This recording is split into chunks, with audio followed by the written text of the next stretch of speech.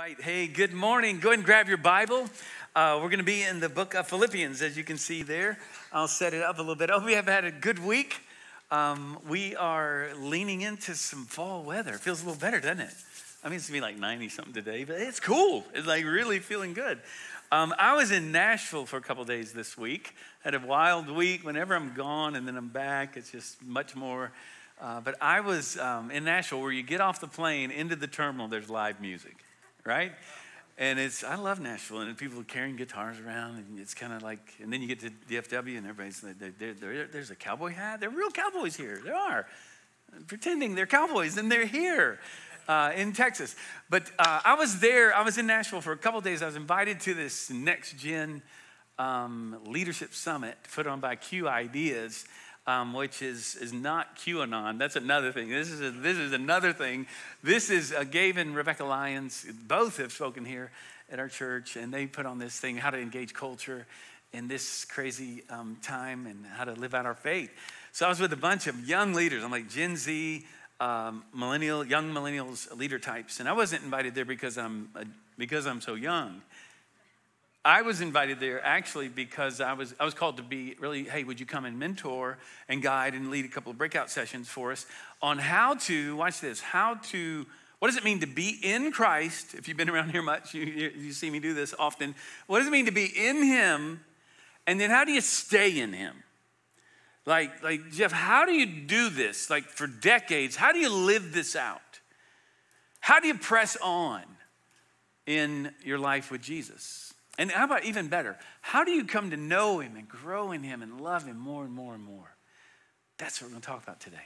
It so happens that Paul, right here in Philippians 3, is going to take us there. Uh, I was there, it was incredible. I was so inspired this week to be with these young leaders um, who it's so diverse. We heard from some great speakers. Some of y'all would, like John Mark Comer was there, um, Jennie Allen, JP, one of our good friends here. Um, Grant Skeldon, who works for Q has preached here as well. Good friend. He's he is the one kind of invited me now. Works with with raising up young leaders. And what I saw, I was reminded again. I was reminded when I did youth ministry for so many years because it's amazing. But um, this is a this generation is diverse. You know this, right? They are they're diverse, and when they come together to worship the Lord, it's like wait, we're we all are different. So something else is uniting us Yes, we're united in Christ, not because we look alike or, or maybe we vote the same or whatever else. We, we come from different places. There, there were blacks and, you know, right, brown, uh, you know, Asian and, and Hispanic and white people and male and female. And we're all, it's like, it's the church, right? It's, it's where, where we are. It's who we are. It's where we're heading as a church to say we're not, we're not, we're not united because we're just alike we are not uniform so much, we are united, all different, but moving in the same direction. And the direction is toward Jesus. And I was reminded again, gang, this next generation, and if you hang out with them at all, you know this. They're, they're, they're done with, you know, racial or political identities, and we find our identity in Christ and Him alone. And that's what unites us. So, how do you stay in? How do you stay at this for the long haul? Because if you're like me, you may have had a tough week along the way. Maybe you're in a difficult season. Maybe you're really like, oh. And so many people nowadays, here's what's happening. I'm going to address this today. A lot of people are entering in, there's a trend to deconstruct our faith now. And there's some positive deconstruction needs to take place, okay? It's not Jesus, let's get rid of it. But not many are entering back into reconstruction to say, let's, let's press forward. There are a lot of people, and you probably know some, who like uh, used to walk with Jesus, used to proclaim him as Christ and Lord, or got baptized or whatever else. Now they're not. And a lot of people are stepping away. I think, I think post pandemic here, people are stepping away from a lot of things. I mean, it has changed life as we know it in so many ways. We said it would happen, and we're seeing it. But many people are moving from, from doubt to deconstruction to denouncing their faith altogether. And if they don't do it verbally, they're doing it by the way they live and act. And we're seeing it, I, I think, in some unprecedented ways. And we are here to proclaim no, no, no. To be in Christ, here's the focus we have a new ambition. We now have a new ambition, and it will not be thwarted. And it is, Paul says, it is to know him. It is to know Jesus above everything else. So, the question I want to talk about here today or ask is how can you stay in Him? First, is He first in your life? That's the challenging question for us. And I want to talk about three primary values, three ways that you can press on in this new ambition if you are in Christ and we're going to focus on progress over perfection. Okay, a lot of people giving up because I can't quite get there. We're going to talk about the present over the past. I'm going to talk about the prize, okay, over possessions, over possessing anything, any position, any uh, you know popularity or power, any possessions. We pursue Him and Him alone. I want you to leave encouraged today. I want you to leave answering the question yes, I'm still in. Yes, on my best days and in the moment, yes, He is my prize. He is the focus of my life. So turn to Philippians chapter 3. We're going to look at verses 10 through 16. We left off um, last week, and if you weren't here, no worries. Uh, we're going to jump back into verse 10 and then, then press into this amazing passage. I say this every week with Philippians, right? This is like my favorite passage. Okay, this is great. Uh, if you don't come any other day, you're here. So, way to go.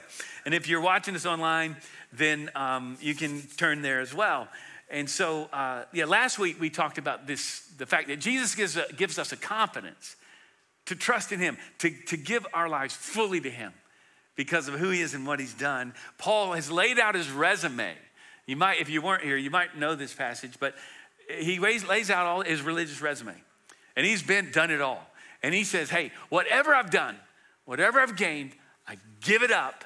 I, I mean, it's garbage compared to knowing Christ, is what he says. And then he says in verse 10, here it is I want to know Christ. This is in the NIV. Yes, to know the power of his resurrection and participation. Okay, this is the word fellowship. It's koinonia. Some of you know that word. Uh, it means intimate fellowship. So watch this. He says, I want to know the power of his resurrection. Okay, like we're all in, like I'm not, I'm not sure what that, but yeah, the power of his resurrection in my life. I need that. I want that to overcome sin, to, to, to help me press through difficult times, to stay focused on him. Then he says, and I want to know the fellowship of his sufferings. Wait, wait, what? Wait, whoa. I might like the, the power of the resurrection. Now he says, listen, this fellowship that I'm looking for, it's a personal fellowship. I want to know him. I personally want to know him. Is this your passion in life? He says it's, it's not only a, a person, it's a, it's a powerful fellowship, but look, it's a painful fellowship. He's saying, whatever comes my way, and Paul went through more than any of us will ever go through in his life, and he's still standing, he's still alive, he's gonna ultimately be executed for following Jesus. And he is saying through the highs, through the lows, and yes, because suffering will come. It's part of life. I'm not surprised by it. I want to know him in my suffering, even in my persecution, through my challenges, even if it's a health challenge or a relational issue. I want to know what it is to be with him through it all. And then he says this becoming like him, uh oh, in his death. And so somehow attaining the resurrection of the dead. Now, what he's saying here, you know, Jesus straight up from the start, he says, You want to come after me? You want to follow me? You want to be my disciple? Die to yourself. Take up your cross and follow me. So Jesus lays it out there clearly, and Paul says, That's the end game. That's what I want to I want to live like that. And then he says, somehow, and it's a mystery, but attaining, and he doesn't mean work towards it. It would go against everything else he has said. He, he says, I want in on the resurrection from the dead any way possible. Any way I can get there, I want that. That's what he's saying. And the resurrection of the dead is where all of history is heading for those of us who are believers.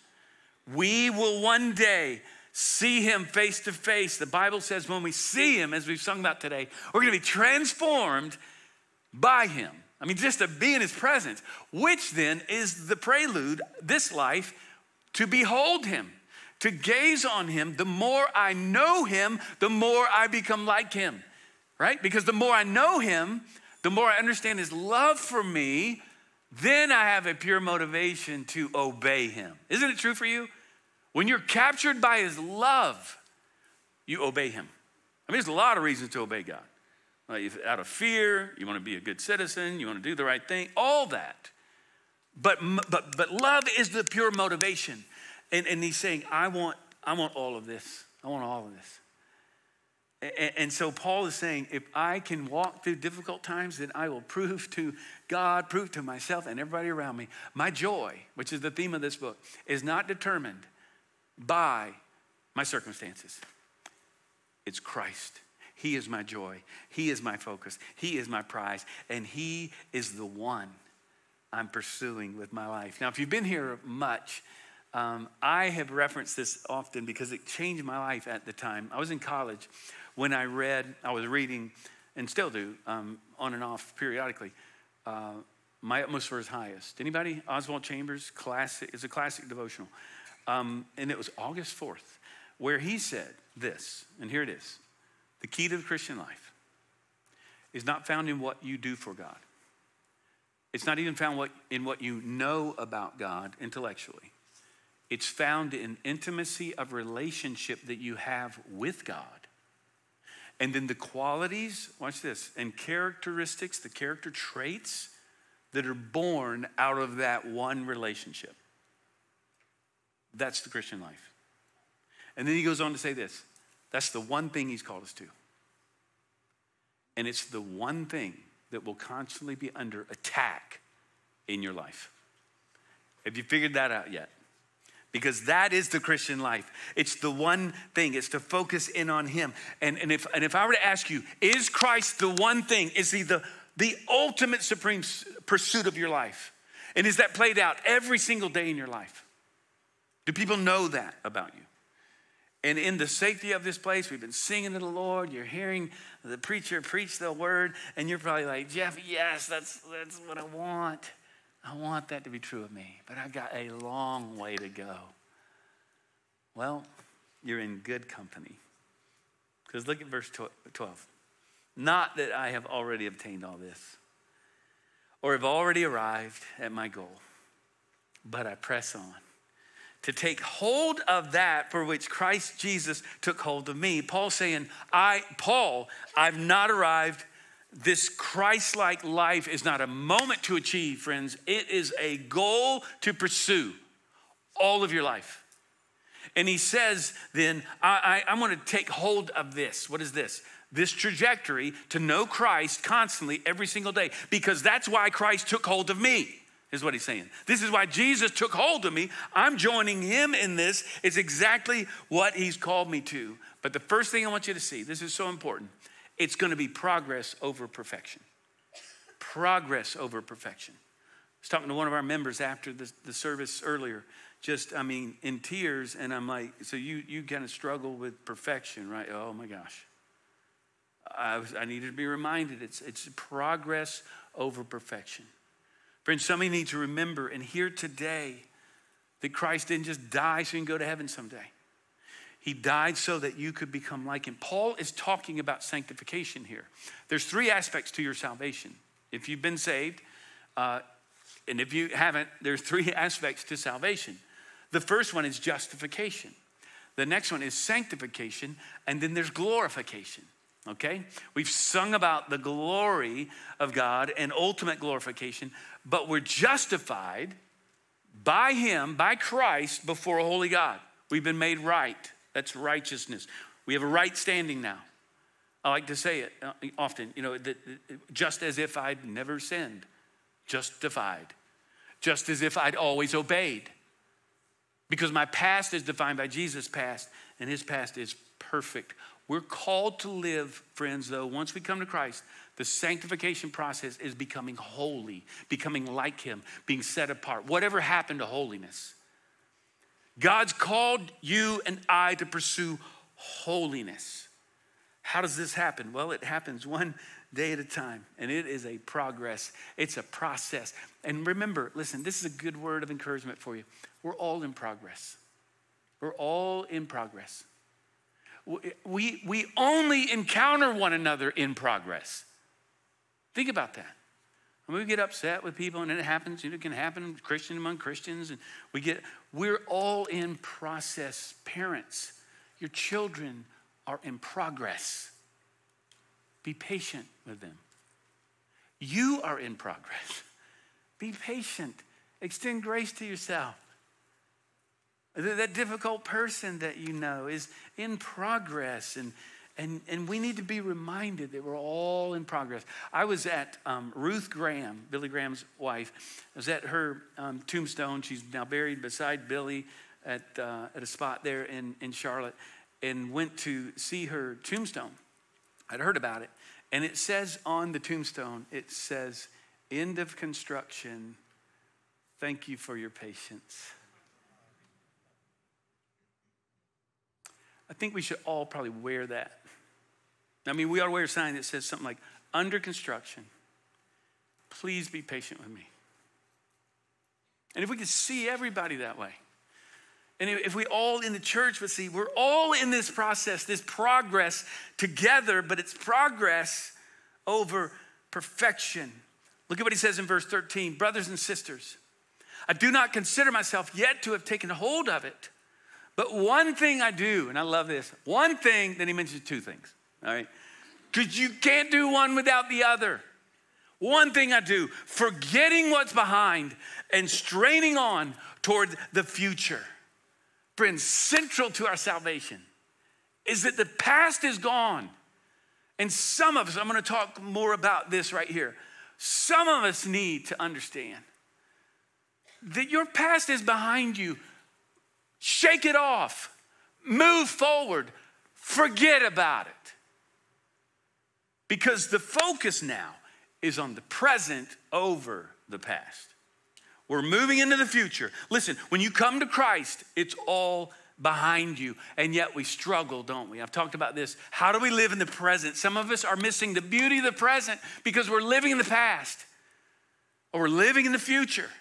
God is here in the present and He's with you all week long, every moment of every day. I noted that it was Mary Oliver, the Pulitzer Prize winning poet, who said, who said, Attention is the beginning of devotion.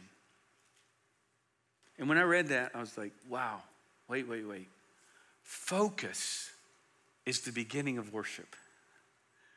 And focus is the beginning of love. This week, Join me. This is, I'm seeking to practice. I'm going to be focused in the moment. I'm not going to live in the past. I'm not going to live in the future. If I go in the past without God, okay, it often leads to shame and regret. If I go into the future without Him because He's here, I, I, I, it leads me to, to anxiety and worry. Living in the present is where He wants you to be. And Paul is saying, I for, leave the past behind. Let's press on. And the only way you can press on is right now in the here and now, right? But here's what's happening. I'm gonna spend a moment unpacking this. A lot of people are deconstructing their faith. It's a trendy thing to do where we're looking at, it's a rethinking of the past. If you've not heard that term, uh, it's used in other, you know, disciplines and such. But now, in terms of Christian experience, a lot of people unpacking you know, the, the, messed up church they grew up in or the pastor who was so jacked up or whatever. And, and don't get me wrong, many people, many of us have been harmed by the church. And some people have, have experienced trauma in their lives because of the church, because of pastors or leaders or other Christians or decisions made. And, and there is a place where we need to unpack that. So, deconstruction is kind of looking at your faith family of origin. What did we get right? What did we get wrong? And whatever good deconstruction is to say, wait, wait, wait. Those theological views that I was given, that I've inherited as I grow in Christ, they were out of whack. And some things might be. Here's the tricky part of it you've got to know Him, the real thing, in order to deconstruct, in order to deal with your doubt. You got to focus on the real thing because many of us, we, we maybe views of a works based salvation, legalism, maybe it's views on women or on race or rethinking how to live out our faith outside of a political, racial, or national identity. We need to unpack that because that's messed up. And, and so many of us have gotten off track because we're not focused in on Jesus because we're not pursuing the main thing. Deconstruction and doubt is the Spirit's invitation back to Him and back to community, back to His Word. Somebody is hearing this today. That God's calling you back to His Word. And listen, some of you need to hear this. Don't rail on everybody in your past. I mean, some churches play into this. This is not your daddy's church. Let me tell you, you know, that was messed up. And people are like, yeah, I think so. That was a little messed up. And, and, and, and instead, no, no, no, no. We preach Christ and we focus on him. But don't be angry. Don't, don't lash out. Don't, don't, but don't give up.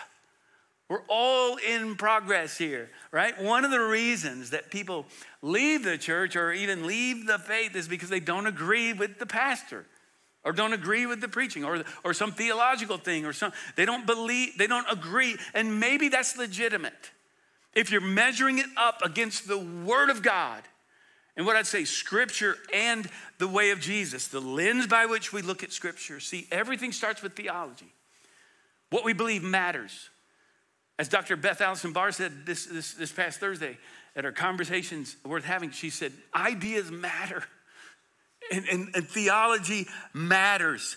And so we've got to get back to the church, back to your connect group, or back to crew. I was with one of our crew groups, our high school groups, a couple weeks ago. Back to saying, let's let's process this together. There's bad theology, and that can that needs to be replaced by what is true. See, C.S. Lewis said it this way in A Grief Observed. I love this. He said, My idea of God is not a divine idea, it has to be shattered from time to time. And he shatters it himself. He is the great iconoclast. Okay, that's a person who attacks a particular held, held belief. Could we not almost say that this shattering is one of the marks of his presence? Like, like it's, it's kind of like the, the uh, you know, the, I've told you about the angry atheist. He's angry at God. I'm like, okay, wait, what? Okay. Um, but this shattering, this, this process that we go through is often, wait, this doesn't match up with what I've always believed. I can't, I can't, no, I can't get rid of that if it needs to be. God is shattering it. The incarnation, he goes on, is the supreme example. It leaves all previous ideas of the Messiah in ruins. He said, when you see Jesus, when you look at him, you see him in the word, you understand who he is. See, deconstruction is only helpful if you're coming alongside scripture and the person of Jesus. And what some of us have done, some of you know that Thomas Jefferson, okay, a deist, not a Christian, he had a Bible and he actually cut out the parts that he doesn't like. It's in the Smithsonian. This is real. You can go see it. He, he cut out all the miraculous, he cut out all that is supernatural, including the resurrection. That's not Christianity. And, and, so, so what some of us, we maybe you don't have a cut up Bible, but like me, there's been times where I'm like, you know, I, I got my highlighter out, and I'm like, is there a black highlighter? Because I'd like to, I'd like to take that, right? Love your enemy. Ooh, not, no, I'm out. Don't. Pray for those who pers- mm, no, not going to do that today. Um, we, we tend to do that. And, and, we've got to we've got to say, look, let's look at scripture. We've got to be in the word constantly. We got to gaze on him. We got to look at him. He is the prize. He is where we're heading. Karl Barth wrote a set of books called Church Dogmatics. I had to read a lot of this in seminary. 10 million words long. I didn't read all of it. Um, it said that he hasn't read all of it. He didn't read all of it, okay? But he was a German theologian. He's, he's since gone. But he said this.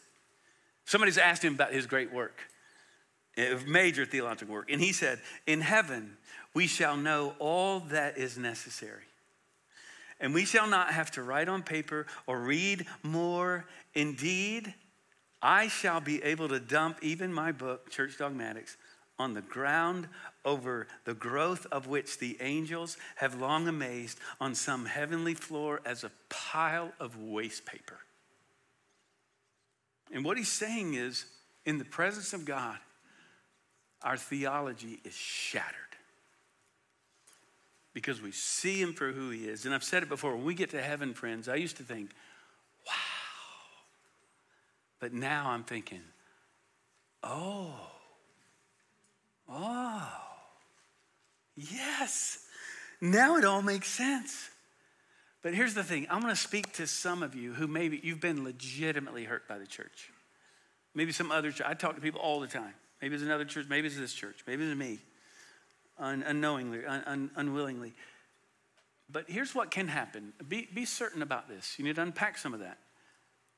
But some people claim, I've, I've been hurt by the church. And it, can I love you for a moment? You haven't been hurt by the church. It's been your pride that has stepped in the way. It's been your pride. You wanted, I wanted it my way. Oh, it was my personal preference. It was, I wanted to be validated. I wanted to, to run the show or whatever it might have been. I wanted to be acknowledged in this ministry. I, wait, wait, who are you doing this for? Whoa, whoa, wait, wait, right? So, so often we, we say, I've been hurt by the church, and then we tell others we've been hurt by the church. Maybe you haven't been. Maybe, maybe it's you. Maybe you need to process that a little bit. See, here's what happens deconstruction is, can turn into critiquing, throwing rocks, being critical, instead of saying, hey, I'm in progress, I'm not perfect, but I'm gonna join these people. It's coming here together and saying, together, as believers, friends, let's we can say it. These people make me crazy. And there's no other place to go where people are loving Jesus like these people. I think it was Henri Nouwen who said, The church will always stand in the way of God, but she will always be the only way to God. And it's together that we get there, right? It's together that we grow, but we've got to unpack our past in order to move on to the future. Peter Scazzero wrote a book called Emotionally uh, Healthy Spirituality. In it, he says, uh, You may have Jesus in your heart, but you got granddaddy in your bones meaning you can love Jesus with all your heart. But if you haven't worked through some trauma or some of your past, you miss the beauty of the present, okay? So, Paul goes on and he says that uh, we're going to press on, but some of us, we need to understand what God has already said about us, what is true, and hold on to that. Don't give up. Don't give up. Keep pursuing Him. Dallas Willard wrote From time to time, God actually allows us to stew in our doubts because it makes us people worthy of the truth. Doubt means that there is belief. Doubt means, and that is the place where you can come and wrestle before God with all that you have and say, I just want to know the truth, Lord. I'm pursuing you. And you'll find Him. He's longing for you to come. But I can tell you this for a lot of us, if it's if, it's, if it fits in a spoon, it's probably not the ocean. And for some of you who say, until I figure all this out, until I get my mind around Him, listen, if you understand God, it's probably not God. So let's keep on. We're in progress. So here, look at this 14, verse 14 as he lands. I press on toward the goal to win the prize for his God, for, for which God has called me heavenward in Christ Jesus. He says, I'm pressing on. I'm not giving up. So listen, friends, listen, this week, don't miss this. It, it's progress over perfection, right? It's the present over the past. Don't live there. And finally, it's the prize over possessions. All of life is, is toward Christ, for Christ. Look at verse 15. All of us then who are mature should take such a view of things. And if on some point you think differently, that too God will make clear to you. So he uses this word uh, mature, which is the word teleos in the Greek. It can mean perfect. It's like, wait, I thought it's progress, not perfection. And what he's saying is, those of us who are mature, we're going to think this way. What is, what is this way? We are not yet mature. those who are mature know that they're not yet mature. And he says, I want you to think this way. What way? With a single focus with a single focus on Christ to stay in this together. Friends, some, some of you need to hear this today. Don't give up, stay in and encourage others to join you. And as we close, look at, he says this, the last verse, verse 16. Only let us live up to what we have already attained. He said, he's saying, don't go back. Don't go back. Let's stay the course. Do not look back. Keep pressing on. Let's build on where we are. You might say, man, I wish I was so much further. And those of you who are older, like, dang, I thought I'd be further than I am. I thought I'd be, I wouldn't be wrestling with this anymore. Don't give up. Continue to press on. The Christian life is so much more than just becoming what I'm not. It's, watch this, this is wild. It's becoming who I already am in Him. It's, it's revealing what Christ has already done in me. It's fleshing it out. It's why he says in Philippians 2, verse 12, he says, Work out your salvation with fear and trembling. Keep working it out. Keep at it. So, do you have this new ambition? Is this your life's goal? This is the question I want you to answer today. And if you can say it's really not, then you have not been fully captured by his love. His love for you. His love is what draws us to repentance.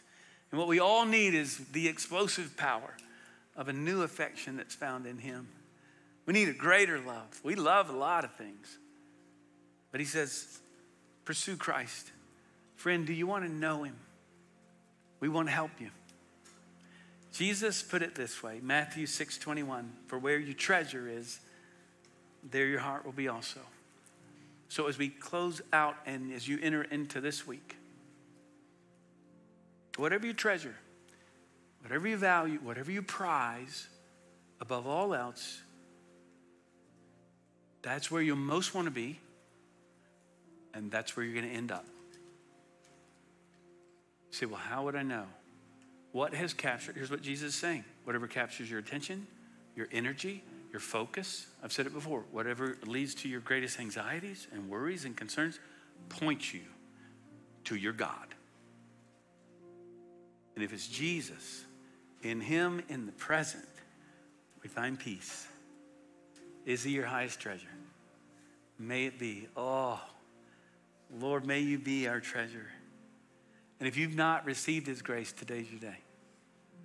And so I just want to pray over you right now. Would you bow your heads and close your eyes? And we're going to close our time together. If you've not received Christ, and if, if you have, you can pray for others here. Today is, is why you came. Really unpacked what, what it means to be a Christian today, to be in Him, to be forgiven. He took your sin upon the cross so that you might become the righteousness of God in Him. Receive His grace now by faith. He's already accomplished all that is needed for you. And now turn your heart to Him. And, and all of us now, as we focus on this week, progress over perfection, we're going to focus on the present over the past. And we're going to keep our eyes fixed on the prize of Jesus above anything else we might possess. Lord, we praise you. We thank you. We've been reminded through song and through the word. Really, heaven is the heaven is the final deconstruction. We're going to see you as you are.